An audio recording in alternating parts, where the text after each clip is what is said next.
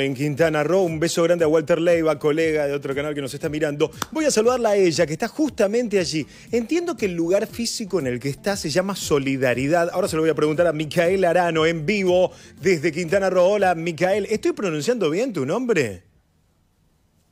Hola, Héctor, ¿cómo estás? Eh, me da muchísimo gusto saludarte. Muy buenas noches a toda la gente en la Argentina. Súper contenta de saludarlos desde México. Creo que tengo ahí un poquito de interferencias propias de la distancia, pero sí, te saludo desde la Riviera Maya en México, desde el Caribe mexicano. Bueno, oíme, sácame la duda. Michelle, no, Micael, ¿así pronuncio bien? No, no, o sea, se escribe como Micaela en inglés, pero es Michelle. Michelle, entonces digo. ok, te presento de nuevo. Michelle Arano en vivo con nosotros desde México. Veíamos el informe y se veía un, medio un descontrol total. No sé si es que el informe fue un poquito sensacionalista de los colegas del canal de las estrellas o si efectivamente es medio un descontrol. Vos vivís ahí, trabajás ahí. ¿Cómo se está viviendo este momento del coronavirus allá? Mira, la realidad que se vive en la Riviera Maya, la Riviera Maya es un lugar, un punto estratégico a nivel mundial desde hace mucho tiempo. Es eh, un lugar en México que siempre ha presentado el 200% de crecimiento. Em, por darte un dato en preciso y muy importante, la Riviera Maya es el segundo destino turístico a nivel mundial después de Las Vegas para celebrar bodas y despedidas de solteros. Entonces estamos hablando de un lugar sumamente importante, energético y el más lindo de México. Es una realidad que sí, estamos en semáforo naranja, se han tomado algunas precauciones y prevenciones dentro de los protocolos para no llegar a semáforo rojo y que tengamos que regresar, como quien dice, a fase 1. Sí hay dentro de todos los establecimientos, ya sean boutiques, restaurantes, beach club, eh, los nightclubs no están abriendo porque, bueno, al cerrar a las 11 por regla gubernamental, no tiene un caso que abran a las 7, 8 de la noche y después cierren a las 11. Sí se ha visto afectado un poco el turismo, porque hay mucha gente que planifica eh, desde un año antes sus semanas, sus dos semanas que vienen de vacaciones al Caribe, y bueno, ahora se presenta esta situación. Eh, de manera porcentual, Mira, para que podamos entender, Quintana Roo es uno de los 32 estados de la República Mexicana, pero es un estado pequeño. En comparativa, yo soy de Veracruz. En comparativa, Veracruz tiene 212 municipios, Quintana Roo solo tiene 11. Claro. Es un estado muy pequeño, pero muy concurrido. O sea, nos visita gente de los Estados Unidos, de Canadá, de España, de Europa, España está en Europa, franceses, italianos. Em, en el lugar donde yo trabajo, yo trabajo en un beach club, todos los días me encuentro con gente de Italia, con gente de España, con gente de Francia, que bueno, al parecer y en su país tienen mucho protocolo, pero al llegar acá se les olvida. Claro, claro. Un poco. Oye, me te escucho atentamente, Michelle. Decime qué significa semáforo naranja. Uno entiende el semáforo rojo, amarillo, verde, digamos, naranja es un intermedio. ¿Qué cosas se pueden hacer con semáforo naranja y cuáles no? Bueno, realmente con semáforo naranja lo que hace el gobierno es hacer recomendaciones, no es que tengamos prohibiciones. Entonces, bueno, te dice que si eh, acudes a un lugar muy concurrido, que no que siempre uses tu tapabocas, que te ajustes a los protocolos, que traigas tu alcohol en gel en la mano, que siempre eh, vayas siguiendo este tipo de recomendaciones para no contraer eh, el virus. La realidad es que en semáforo naranja ahora lo único que está ocurriendo es que cierran todo a las 11 de la noche, pero al parecer durante el día todo está en perfectas condiciones. La gente sale a la calle, hay una quinta avenida en Playa del Carmen súper transitada, la zona hotelera en Tulum se encuentra a reventar todos los días de lunes a domingo. En porcentajes, por ejemplo, aquí en Solidaridad que así se llama el municipio, pero todo el mundo lo conoce como Playa del Carmen, ha aumentado un 10% los casos de COVID. Pero en lugares como Tulum, que ahora están muy de moda, aumentó hasta un 68%. Por el tema del sargazo que tenemos en esta época del año, ya que inició el verano, el 22 de junio arrancamos el verano por acá en México y tenemos un tema fuerte de sargazo, entonces la gente visita las islas, que son Cozumel e Isla Mujeres. Y allá repuntaron en Cozumel 36% y en Isla Mujeres 20%. Oíme, hay que, una. Bueno, veamos qué sucede. Hay una reactivación también, sacame de la duda, porque hace poquito tiempo volvieron los cruceros ahí. Sí, mira, la realidad es que sigue procurando la gente que haya un movimiento constante. Para mí, sí hay un antes y un después de la pandemia, porque yo me fui para Argentina antes de que empezara la pandemia. Yo la pandemia la arranqué en Argentina y después volví a México. Sí hay un antes y un después, pero sí sigue habiendo un movimiento.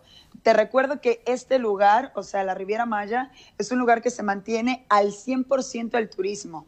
O sea, no tiene otra fuente de ingresos, por decirlo así. Quintana Roo no es productor de algo más, solo se dedica al rubro turístico. Entonces yo creo que la gente también ve la oportunidad de continuar trabajando, pero hacerlo con las medidas y los recaudos necesarios. Vimos muchas imágenes de, por ejemplo, playas en Miami donde la gente era inoculada, o sea, le daban la vacuna en la playa como un obsequio ahí. ¿Cómo es la situación ahí en, las playas de, de México? Digo, ¿Se está vacunando allá? ¿La vacunación se sigue haciendo en centros de salud? Contame cómo es específicamente allá. Mira, la vacunación la están haciendo gradual. Em, ahora eh, empezaron con los adultos mayores, después con gente como de la edad de mi mamá, 50, 52, y ahora vienen con los de mi generación, yo tengo 29, que es de 30 a 20. Em, la vacuna que está utilizando México es AstraZeneca, esa es la que están suministrando, y aquí en Quintana Roo ya arrancó la jornada, pero lo están haciendo por etapas. Ahora estas dos semanas son de gente de 30 a 20 años para, para adquirir la vacuna. Tienen que estar dados de alta en el INSO, en el INSTE, en el ISTE, que son em, nuestras instituciones de seguro social, por así decirlo. Sí, pero escúchame, ¿solo vacunan no sé mexicanos? ¿Cuál sería el equivalente en Argentina? ¿Solo vacunan mexicanos? ¿No vacunan al turista?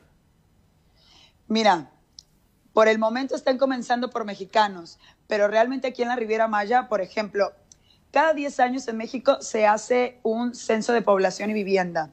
Al 2010 en México teníamos viviendo argentinos, 145 mil argentinos en la Riviera Maya. Al 2010 de manera legal, o sea, aquellos que están registrados. Entonces, imagínate, ya estamos en el 2021, eh, la cifra debe de haber doblado. Obviamente, a todo este tipo de población pues forma parte de nuestra población, o sea, no importa de qué nacionalidad sean. Calculo que algún, alguna mecánica deben tener para después de vacunar a los mexicanos, va a proceder a vacunarse a los extranjeros, pero sí están comenzando con mexicanos. Cambiemos de tema, salgo del coronavirus. ¿Qué es lo mejor si tuvieras que jugar a ser guía de turismo? ¿Qué es lo mejor que tiene ese sitio en el que estás? Quintana Roo, el municipio de Solidaridad, Playa del Carmen, no sé. Decime, Héctor, si vienen para acá tienen que hacer esto, esto y esto. ¿Qué, qué tridente, qué podio de actividades? Bueno, a mí me encanta vender la Riviera Maya porque yo estoy enamorada de la Riviera Maya desde hace un montón de tiempo. Eh, me parece que los paisajes y el entorno natural, o sea, imagínate que es playa con selva. Tenemos selva, hay manglares, hay cenotes sí o sí tienen que visitar Isla Contoy, que es una de las reservas ecológicas naturales protegidas. En alguno de los tours de Isla Contoy te dicen que no puedes usar, por ejemplo, protector solar o esas cosas para entrar al mar porque está protegido. Ah, mira. Tienes que visitar Bacalar, Holbox, que para mí son como piletas naturales. Puedes caminar hacia adentro del agua 50, 60 pasos y el agua te llega a medio muslo. Es impresionante, es agua cristalina, hermosa. Em, Tulum, Cancún, Playa del Carmen, creo que son los básicos, depende qué busques. Para los que buscan fiesta, ahora es Tulum totalmente. Es como el Coachella. Eh, hace unos días platicaba con unos peruanos que viven en Los Ángeles y me decían, es que para nosotros venir a Tulum es como el Coachella con la playa, porque hay mucho diseño, vienen muchísimos influencers, eh, futbolistas, estrellas de cine, eh, cantantes, actrices, conductoras de televisión, de cualquier parte del mundo, ¿eh? O sea, puedes encontrarte una boy band tailandesa en alguno de los clubs acá en Tulum, o de repente en un fin de año eh, se ha escuchado que en las, en las fiestas privadas, por ejemplo, en la, en la, casa de Pablo Escobar, estuvo Johnny Depp y también Leonardo DiCaprio. Entonces son lugares muy exclusivos. Ahorita Tulum es muy exclusivo, pero también tenemos bellezas como Las Coloradas, que es un mar que tanta, tiene tantas sal que es de color rosa. Eso está más hacia Yucatán, hacia la península. Así es que yo lo pondría así. Cenotes cualquiera que vayan son lindos. Tienen que ir a Cozumel, Isla Mujeres, Holbox, Bacalar e Isla Contoy. Listo, armamos un top 5. Oíme, la última. Dijiste en un momento de tu discurso, hiciste una como analogía entre este, Quintana Roo y Las Vegas. Como diste ahí, lo nombraste. Te tengo que preguntar, lo que pasa ya queda allá, ¿no? Digo, por ejemplo, una persona que tiene pareja, escucha la pregunta que te voy a hacer, querida, eh, de no mentirme. Una persona que tiene pareja en Argentina, tiene pareja, ¿puede ir solo o sola allá y mantener la fidelidad? La verdad quiero saber. Mira, yo creo que sí. O sea, no te cree nadie, querida. Te ponemos la máquina de la verdad de Chiche Hellum, te ponemos, te ponemos la máquina de la verdad y suena la chicharra. En serio, sostén el discurso con un poco más. ¿De verdad me estás diciendo? Sí, mira, yo, yo sí pienso que lo que pasa en la Riviera Maya, en la Riviera Maya se queda. Vengan en pareja, en familia, para despedir al soltero, para celebrar al difunto, al divorcio, lo que sea, se la van a pasar bien eso seguro. Siempre hay un plan eh, para todo aquel que quiera visitar la Riviera Maya. Yo creo que todo este proceso que estamos viviendo a nivel mundial de salir de la pandemia y readaptarnos a una nueva realidad, pues lo estamos haciendo y aprendiendo al mismo tiempo. Así que yo sigo exhortando, invitando, digo, los argentinos siempre son súper bienvenidos. México es su casa. Yo sé que la mayoría de los argentinos que viven acá, en Playa del Carmen, la densidad poblacional es mucho de Córdoba, Córdoba capital. Mira. No, no encuentras mucho bonaerense ni porteño. Córdoba capital está en Playa del Carmen. Oíme, con el acento. un poco más hacia Tulum. Sacame de la duda. Con el acento cordobés marcado, ¿el mexicano se da cuenta que es un argentino el cordobés? Sí, claro. Por supuesto, sí. ¿Te das cuenta a todo le pone aso al final. Ah, ok, ok. No, porque, porque el, mexicano, yo estuve en México un par de veces, el mexicano detecta muy bien el acento porteño, o sea, de, los, de nosotros que vivimos en Buenos Aires. Pero, por ejemplo, yo le hice escuchar a una amiga mexicana cómo hablaba un santiagueño, un jujeño, y me dijo, che, no me doy cuenta que, o sea, che no me dijo, no, no, no lo percibía como argentino, le costó darse cuenta que era argentino. Porque en el norte del país usan, dicen la lluvia, no, o sea, empiezan a hablar más como neutralizado, ¿viste?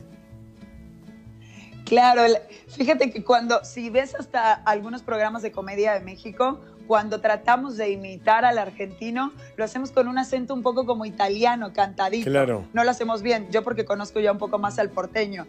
Pero, por ejemplo, el acento de Tucumán, el acento de Salta, el acento de La Rioja, el mendocino o el cordobés, no lo tenemos muy naturalizado. Nuestro estereotipo del, argentino es totalmente porteño. Como en mi caso, cuando me escuchaban hablar allá, me decían, no hables como mexicana, pero porque tienen al capitalino y yo soy de costa. Hablo jaladito, tengo ahí una combinación también latina. Entonces, el estereotipo del argentino en México es el porteño, pero ya estamos bastante familiarizados con, con los cordobeses. O sea, de hecho, dentro de la dinámica cultural y social de Playa del Carmen, ya puedes encontrar desde restaurantes, lugares de sano esparcimiento y lugares donde te vendan comida argentina, eh, como que armaron su propio círculo, su propio mini Argentina. Para mí, Playa del Carmen es la segunda capital de Córdoba. Qué buena onda, me encantó. Fue ese país. Claro, me encantó, me encantó. Oye, la última. ¿Y vos a qué te dedicas? Porque periodista, pero vos sos actriz, bailarina, tenés todo el look como de, artista, ¿no? Haces todo. Sí, ahora eh, estoy trabajando para un beach club, estoy en la parte de animación y entretenimiento. Eh, raro, durante la pandemia abrieron muchos locales, muchos beach club y muchos negocios en Tulum. Y recién ahora que se están aperturando los vuelos desde otros países para acá, eh, es que están tomando mucho auge, tiene un crecimiento desmedido, impresionante. O sea, para la agenda, por ejemplo, de bodas, hay gente que tiene agendado bodas y despedidas de solteros. Estamos en el 2021 hasta 2024. ¡Qué locura! Eso, ¡Qué locura! si hablas con concierge, por ejemplo, que ellos hacen como, te organizan como todo el viaje, desde la recepción, dónde se van a hospedar, dónde se va a celebrar, qué lugares van a visitar, qué es lo que tienen que comer. Bueno, te platica eso, que tienen una agenda llena hasta 2024. La verdad, querida, te envidiamos. Te mandamos un beso grande. ¿Cómo hacen para encontrarte a vos en redes sociales, Michelle? Ay, perdón, lo último no te entendí, discúlpame. ¿Cómo hacen para encontrarte en redes sociales? Ah, estoy en Instagram como arroba michaele, M-I-C-H-A-E-L-L-E,